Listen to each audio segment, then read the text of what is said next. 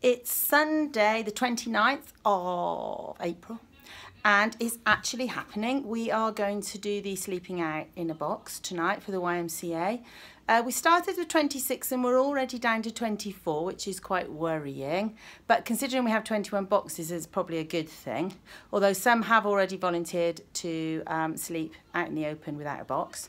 And we have checked the weather. And thank you to um, the YMCA for tweeting last night that they think there's going to be sleet tonight. But we have checked and there's a very small chance that it will rain later. But it is actually quite cold and there is a cold wind. So um, we've got lots of black bags and um, some people have just thought about a sleeping bag and they don't have one, which is a bit of a worry. But, you know, they just have to use the duvets uh, because, you know, if you become homeless, you can't just um, go out and buy a sleeping bag at the same time. So I'm sure it'll all be fine and um, we're really looking forward to it. And I just hope I do get a good night's sleep because otherwise I'm going to have wrinkles on my wrinkles which isn't really attractive.